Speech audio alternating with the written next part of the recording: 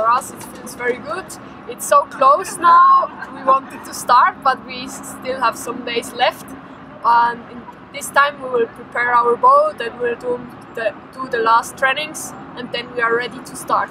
We had a really nice last um, training here a few weeks ago and yeah I think we are well prepared for the championship. Brazil is not really European but I like it. I like especially the food with the fruits and everything, just very fresh. You can't compare with our stuff, what we find in the supermarket.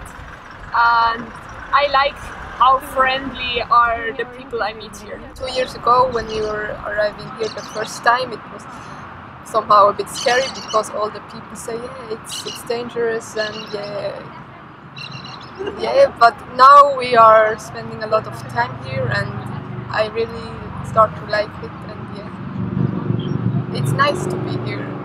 We have somehow um, two targets, one is for sure um, a result target and we it would be nice to be in the top 10 for um, doing the medal race. It would be really nice, and I think it's um, we can do that.